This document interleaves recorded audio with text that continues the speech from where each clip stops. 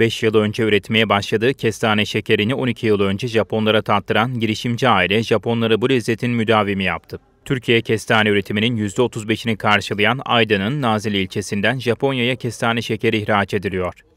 İlçenin en uzak mahalleleri arasındaki 1200 rakımlı Aksu mahallesinde 15 yıl önce kurulan tesisten yılda 5 konteynere yakın kestane şekeri Japonların sofralarına gidiyor.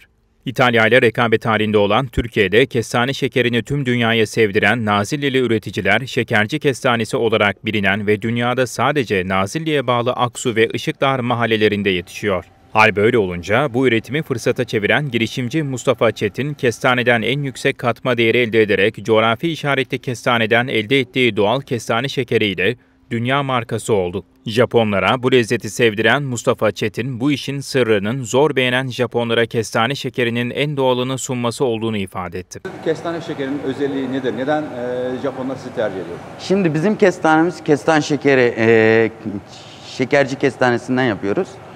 E, kestanenin çok bir çeşidi var e, aşı olarak. Ama en güzel tutulan kestane şekerci kestanesinden yapılır. Bir de bizim e, kestane şekerimiz e, glikoz koruyucu kullanmıyoruz. Toz şeker, doğal olarak toz şeker kullanıyoruz. E, onun için tercih ediliyor. E bir de Japonların çok titiz olduğu söyleniyor. Evet, e, Türkiye'de bizden başka e, ihracat edebilen bir firma yok Japonya'ya. E, hatta şöyle söyleyeyim, birkaç firma sordu bize nasıl gönderebiliyorsunuz? Çok basit dedik. Glikoz olmayacak, doğal olacak her şey, koruyucu olmayacak. Onun için Ama yine de 10 yıldır Japonlar sizi tercih ediyor. tabii bizi tercih ediyorlar. Biz gittik Japonya'ya, satılan yerleri gördük. Onlar da her sene geliyorlar ziyaretimize, üretimimizi bakıyorlar. E, gidip geliyoruz beraber, e, görüyorlar yani üretimin olduğu yere. Bir de köyün olduğu yerde yetiştiği için, kestanenin ye- yetiştiği yerde üretim olduğu için tercih de, ediyorlar. e, kuşaklara baktıklarını biliyoruz. Yani bu uzun süreli bir Tabii. olarak planlanıyor bu. Aynen. Daha önce e, babamla şimdi de oğlan var benim bir tane. Onun üstünde onu sorup duruyorlar. Devamlı kuşaktan kuşağa geçmesi için Evet. Peki iddialıyız değil mi? her zaman. Şimdi bizim kestane e, dünyanın en iyi kestanesi. Dünyanın da tercih ettiği tek kestane şekeri. E, kestane şekerini Aydın'da ilk yapanlardan birisiniz. Evet, evet doğrudur. 2007'de e, işletmemizi açtık.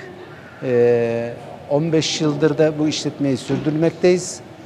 E, 12 yıldır da ihracatımız var Japonya'ya.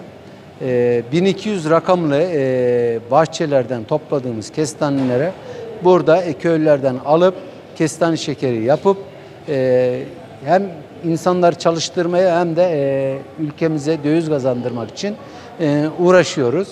Hatta da e, Aydın Kestanesi'nin Aydın coğrafi işareti alıp ilk kullanım iznini de bana verdikleri için e, borsaya da teşekkür ederim. Aydın borsası bana buna imkanı sağladığı için bu şekilde devam ediyoruz, çalışıyoruz.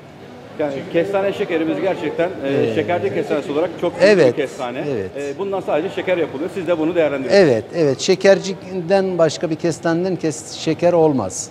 Tek e, şekerci cinsinden kestane şeker olur. Peki Bursa ile aranız nasıl? Bursa ile Bursa'yı kestane bizim buradan gider zaten. Daha önceden Bursa'da kestane varmış ama hastalıktan dolayı bittiği için Bursa'nın şekercileri hepsi de bizim buradan, köyümüzden alır kestaneyi.